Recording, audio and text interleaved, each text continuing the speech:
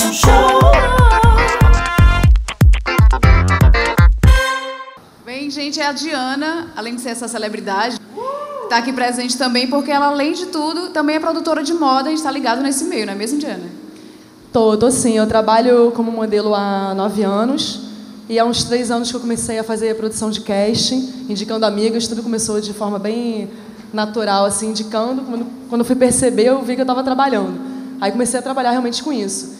E disso eu comecei a fazer produção de objetos, comecei a me envolver com produção executiva e produção de moda e acabei trabalhando nessa área de publicidade já há três anos com fotógrafo.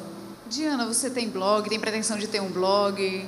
Então, eu estou criando é, um, um, site blog bem legal que eu vou falar é, de alguns temas, moda, gastronomia, humor e tem uma parte de currículozinho release sobre mim.